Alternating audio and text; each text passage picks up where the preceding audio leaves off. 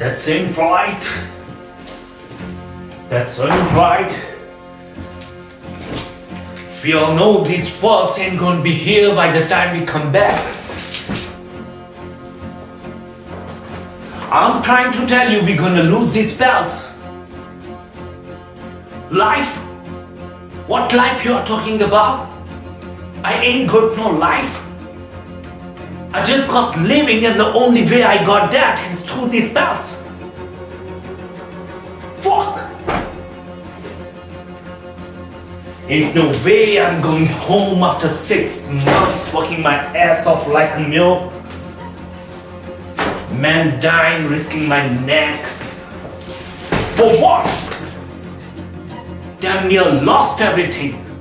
Just been fucked from the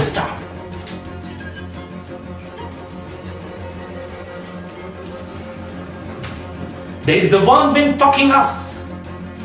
And you guys wonder how the Ree got the dead drop on us?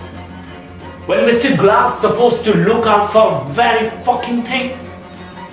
Yeah. And what about his heartbreak son? What kind of savage you think his mama was? All I'm saying, a savage is savage